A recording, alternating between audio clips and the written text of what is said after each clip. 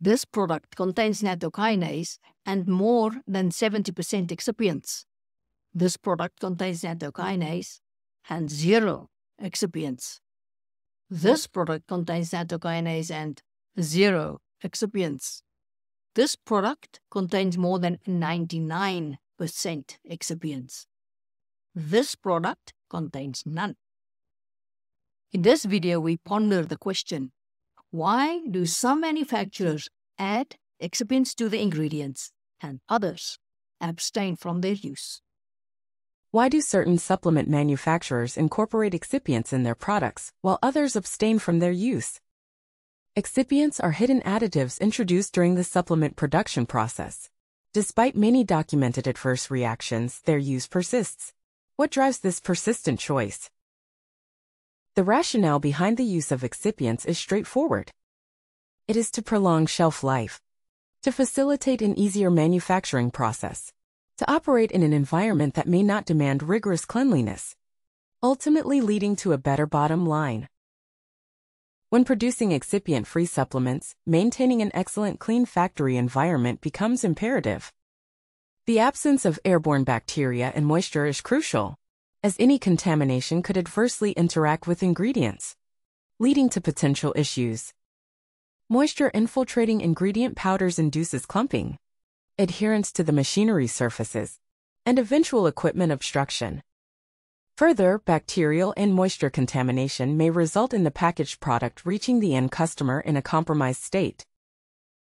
In environments without pristine air quality, these issues are averted by introducing excipients. Lubricants prevent clumping, adhesion to surfaces, and machinery clogging. Binders and fillers serve a dual purpose by binding to ingredients and extending the shelf life while also absorbing moisture to prevent bacterial growth inside the capsule.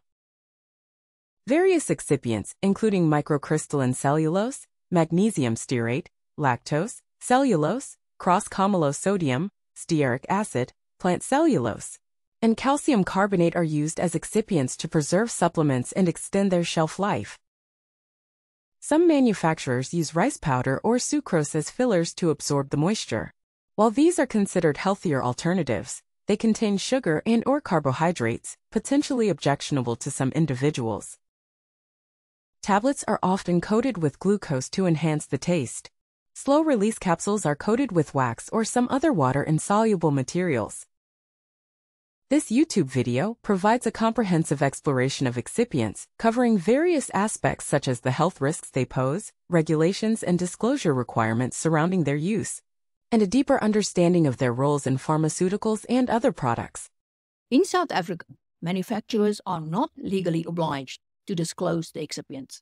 However, ethical manufacturing practices emphasize the transparency of providing this information.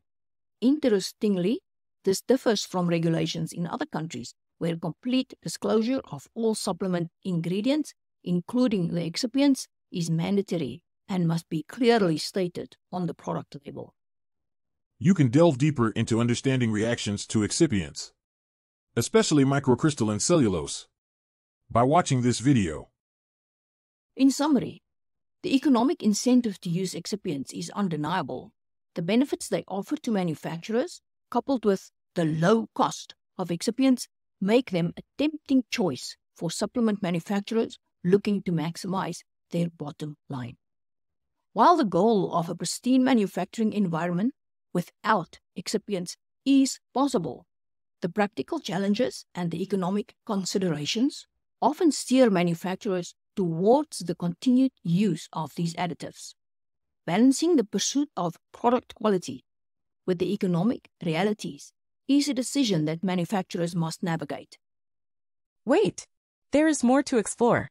You can delve deeper into understanding reactions to excipients, especially microcrystalline cellulose, by watching this video. It recounts the story of an individual who initially became unwell due to the excipients present in her health supplements.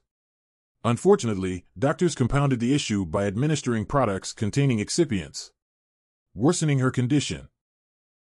Eventually, her recovery ensued when medical professionals identified her allergy to microcrystalline cellulose, prompting her cessation of its usage. She remains in good health as long as she abstains from using products containing excipients. Thank you for investing your time in this video. Your comments, your likes, subscriptions, and bell hits are highly appreciated. Note that the content presented reflects the perspective and opinions of the original creators. This video is intended for information purposes only and should not replace professional medical advice. My name is Anna